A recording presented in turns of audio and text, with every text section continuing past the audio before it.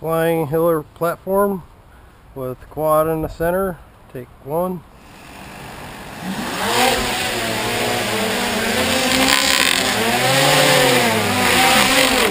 Oh.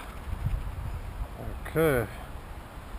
Let's try a slower start.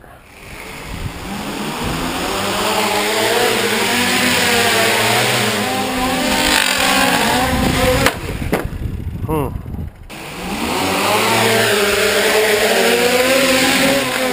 Whoa. Maybe if I turn up the gyro sensitivity, it would work.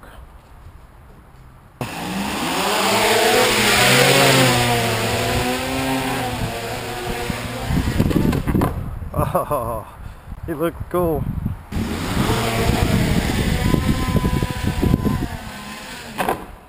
Okay, let's turn up the gyro.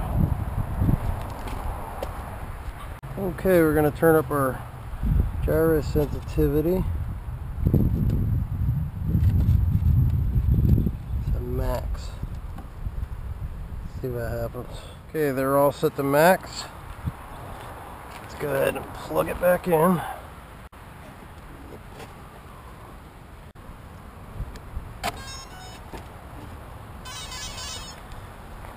Yeah, let's see what happens. Oh my gosh.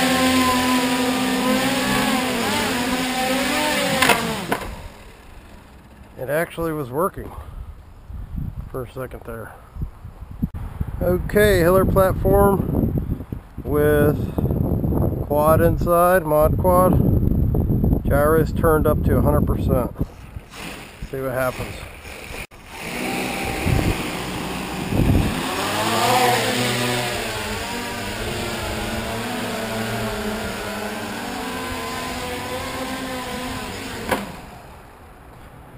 Not bad.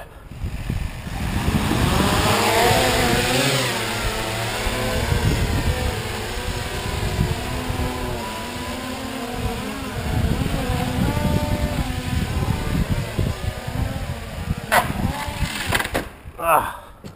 Okay, for some reason, the wind just keeps blowing it over here.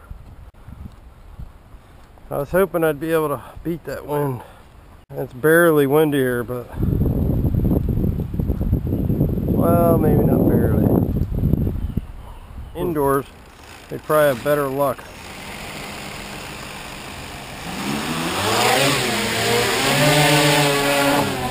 Whoa! I don't know what happened there, but the guy is basically ripped off. Let's take the guy off and see what happens. Okay, Hiller platform, no guy.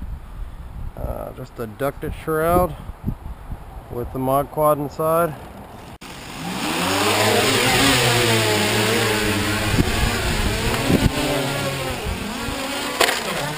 Come on. The wind. Gyro sensitivity set to 100%.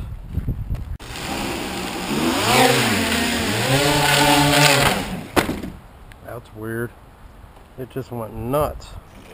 Oh, it got caught in there. Let's get rid of this whole section.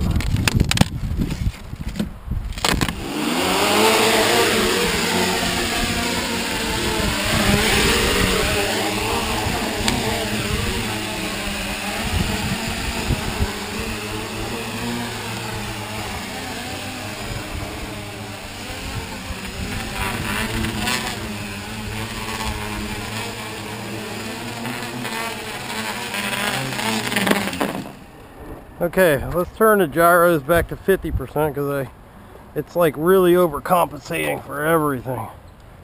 So, let's see what we got here. Gyros at 50%. Let's try that again. Whoa, whoa, whoa. What happened? There we go. Ah, it seems to me it's not so much the gyros as it is how small the wingspan is here. The arm span. It's so small that you really, it makes it hard to fly. It's a little too maneuverable. If the motors were on the outside, we'd have probably have better luck. But that concludes the test. I think the optimum arm size would be about 17 inches.